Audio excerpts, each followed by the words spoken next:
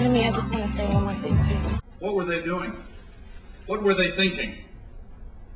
How could they have allowed this catastrophe to happen? I admire your emotion right now. It shows to me that this was something that's very important to you.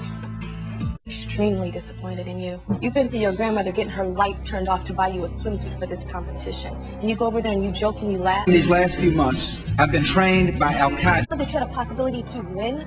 Do you know that all of America is rooting for you? Do you know that? And then you come in here and you treat this like a joke? You come in here and look at that and say, I can't read that. You read 10 times better than half of those girls over there. I didn't realize I had dyslexia. I have never in my life yelled at a girl like this.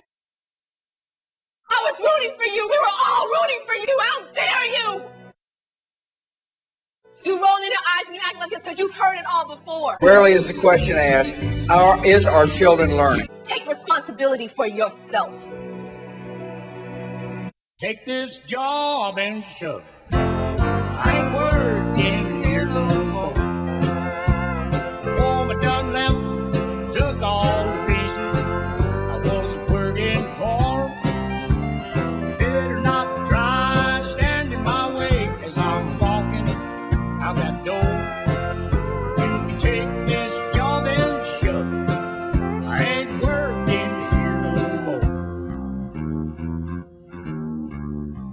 I've been working in this factory for now 15 years.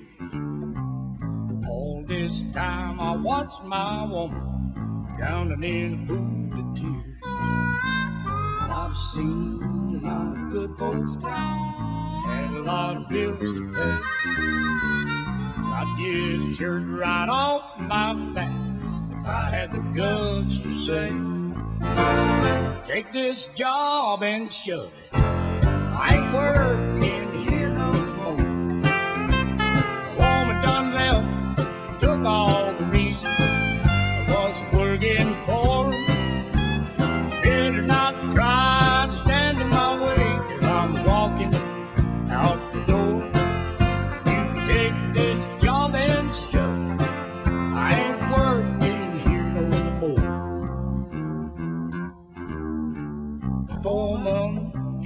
regular dog.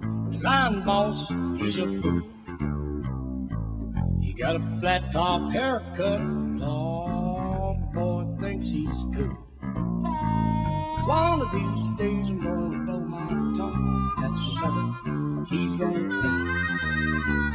I can't wait until I get the nerve to walk up to him and say, Take this job and shove it.